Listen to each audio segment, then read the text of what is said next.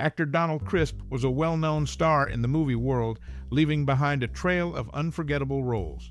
Many remember him best for his performance in Insert Famous Work, which really shaped his career. When thinking about him, lots of people have fond memories. His influence touches many hearts. What's your favorite memory or personal story about this classic actor? Post your stories and memories in the comments below. And keep watching because we've got plenty of funny, shocking, and sad facts to share. Donald Crisp was born in Bow, London, England. He grew up in a family of modest means with his father working as a jeweler. Crisp discovered his passion for acting early in life, participating in amateur theater productions during his youth. His family's financial struggles motivated him to seek employment, and he began working as a clerk at a stock company. However, his love for acting persisted, and he eventually joined William Gillette's theater company, where he honed his craft. During his time with Gillette's company, Crisp gained valuable experience and developed his acting skills. He later moved to the United States, where he continued to pursue his acting career in New York City. His talent and dedication caught the attention of filmmakers, and he made his film debut in the early 19s. Crisp's career thrived in Hollywood, where he became known for his versatility and ability to portray a wide range of characters. He appeared in numerous silent and sound films, earning acclaim for his performances. One of his most notable roles was as Dr. Meade in the epic film Gone with the Wind. Throughout his career, Crisp's early experiences in the theater and his determination to succeed despite obstacles shaped his approach to acting. He was known for his professionalism and commitment to his craft, qualities that contributed to his success in both theater and film.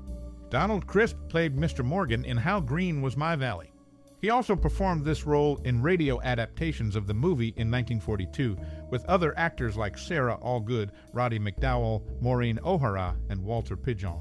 Their chemistry made the story come alive even on the radio, he did radio versions again in 1947 and 1954, showing his talent and flexibility.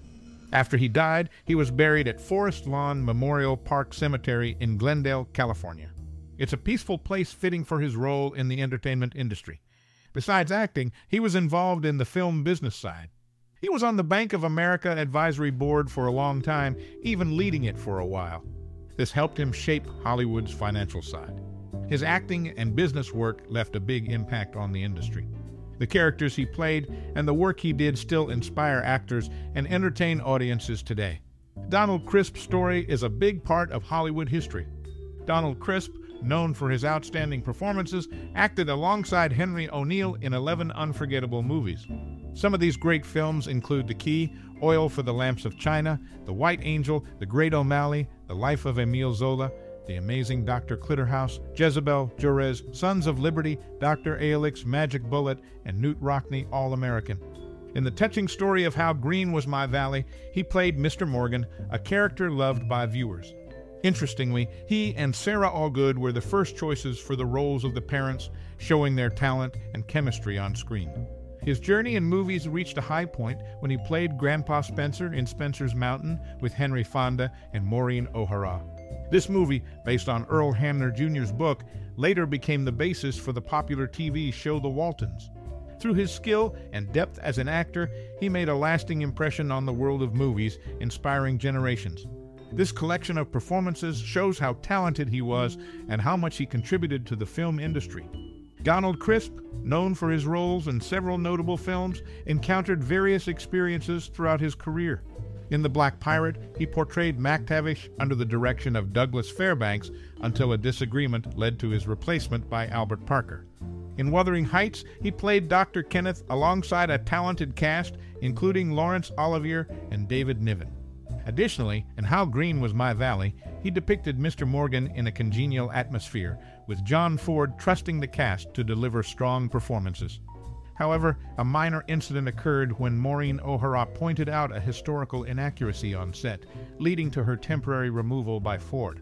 Despite such incidents, Crisp's contributions to these films remain noteworthy.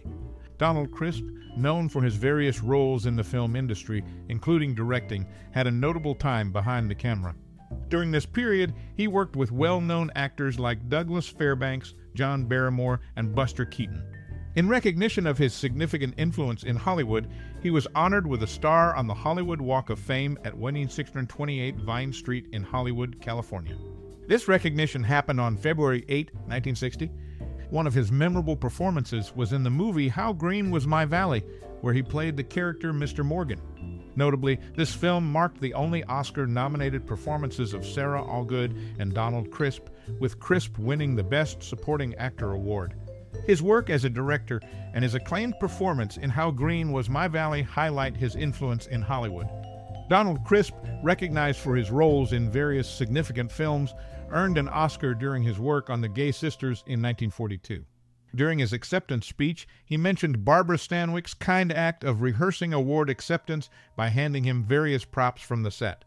One notable film featuring him is Ramrod, where he portrayed Jim Crew. The movie premiered on February 21, 1947, at both the Utah and Capitol Theaters in Salt Lake City as part of Utah's centennial celebration as a U.S. territory.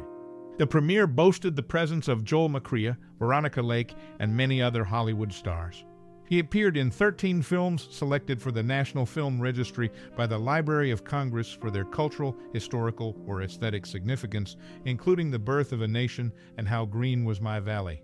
Additionally, he directed The Navigator, also in the registry. His impact on cinema remains notable and enduring. In The Viking, Donald Crisp portrayed Leif Erikson, while Anders Randolph played Eric the Red. They previously starred together in The Black Pirate, a silent movie filmed in two color Technicolor. In Brother Orchid, he portrayed Brother Superior. A radio adaptation of the movie aired on the Screen Guild Theater, with him reprising his role. In Spencer's Mountain, he portrayed Grandpa Zebulon Spencer. Maureen O'Hara, who acted alongside him in How Green Was My Valley, also starred in this film. His versatility shone through in these roles, showcasing his talent across different genres and mediums. Donald Crisp, co director of a film, left the production before filming underwater scenes at Lake Tahoe. In the life of Emile Zola, he portrayed Maître Labori alongside four Oscar winners Paul Muni, Joseph Schildkraut, Gale Sondergaard, and himself, and one Oscar nominee, Louis Calhern. He also played MacTavish in The Black Pirate and appeared with Anders Randolph, who portrayed the pirate captain in another silent movie, The Viking, filmed in two color Technicolor. Both films showcase his versatility as an actor. Overall, Donald Crisp's roles in these films demonstrate his range and talent as an actor in early cinema. Donald Crisp, recognized for his role as Barney Rebstock in Whispering Smith, shared similarities with Robert Preston in other films like Union Pacific. In both movies, he played a character central to the railroading theme alongside Joel McCrea and Alan Ladd in Union Pacific and Brenda Marshall in Whispering Smith. His character in Whispering Smith served as the antagonist, contrasting with the lead's efforts to guide him towards decency, reminiscent of Brian Donlevy's role in Union Pacific. Train wrecks were significant in both films, highlighting their thematic parallels. Outside of acting, Crisp had a multifaceted background, he served in the British Army during the Boer War, where he crossed paths with a young Winston Churchill at the start of his political career. Crisp later served in Army intelligence during the First World War and rose to the rank of colonel in the United States Army Reserves during the Second World War. Crisp's varied experiences in military service and acting underscored his versatility and depth as a performer and individual, enriching his impact on both fronts.